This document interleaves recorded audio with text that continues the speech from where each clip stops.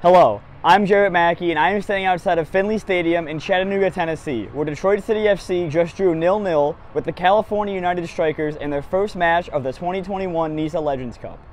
It had been 193 days since the Detroit City FC men's first team last took the pitch, where they defeated the Oakland Roots 2-1 in the NISA Fall Championship Final. With this being the first match of the season, there was bound to be some new faces on the pitch.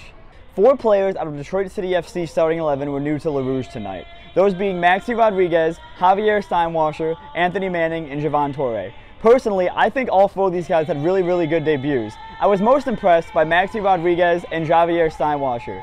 At first, Steinwasser did a really good job with hold-up play, getting the ball into the box, linking up well with the fullbacks, but Rodriguez played a full 90, bossed that midfield. Going into the season, we were all kind of worried. We had questions. We still have questions, to be fair, about how we would fill the Bakie Goodman hole in our midfield. I know it was only 90 minutes, but Maxi Rodriguez showed that he has what it takes. He has the skills on the ball. He can hold up play. He did a really good job controlling that midfield. And let's face it, Cal United is one of the better sides we've faced all season, and he looked incredible out there today. So you give him more time to get chemistry with the guys around him, and who knows what's possible. I think he did a really great job tonight holding his own, and I'm a little less concerned about how we're going to fill the Bakie gap uh, after tonight's showing. Another exciting thing we saw tonight was the return of the 3-5-2. Of course, the 3-5-2 was made famous in 2019 when Trevor James put Musa Gueye, Stephen Carroll, and Jalen Crisler all back there, and they did a great job. I think we went eight or nine games in the NPSL without conceding a goal. We saw a return of the 3-5-2 in 2020, but Stephen Carroll was flanked by two players who aren't natural center backs in Tendai Jarira, Tendai Jadida, excuse me, and Michael Kafari. Tonight we saw the return of the 3-5-2 with Stephen Carroll, Matt Lewis, and Anthony Manning. The start of the match, we went with the 3-5-2 and we had three proven center backs back there and I think it looked great. A little bit sloppy at times, but it's their first time playing together. I think we give them more time. Uh, they work, they get that chemistry going, and I think we'll see a 3-5-2 just as successful almost as it was in 2019. Um, and I feel like it's going to really help us a lot going forward, going into this NISA spring season. At halftime, we saw a really interesting substitution that changed around the formation. At halftime, 2020, Michigan's Mr. Soccer, Bosch Tanyi, came on to replace Javon Torre.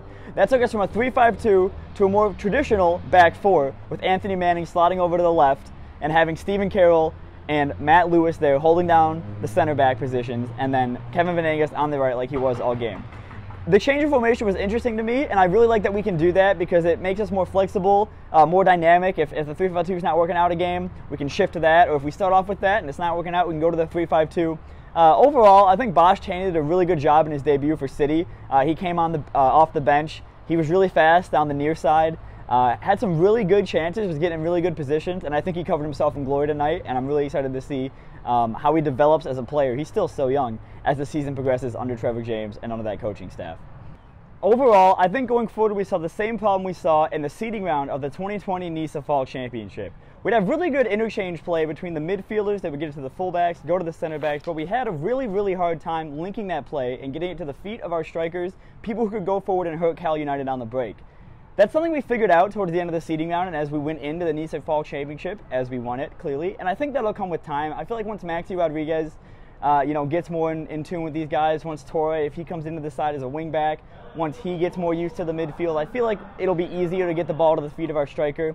We did a lot better with it when Yazeed Matthews came on, and I expect him to be starting for us uh, when the season actually begins and not the Legends Cup. Um, so with that, I'm optimistic.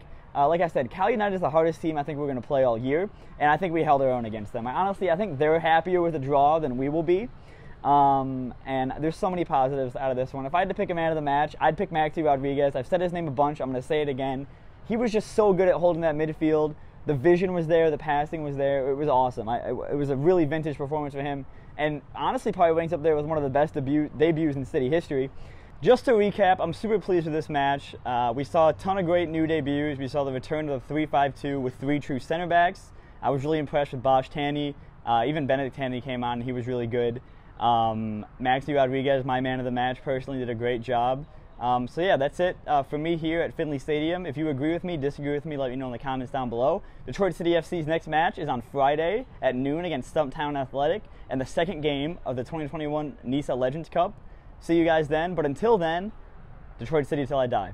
Have a good one.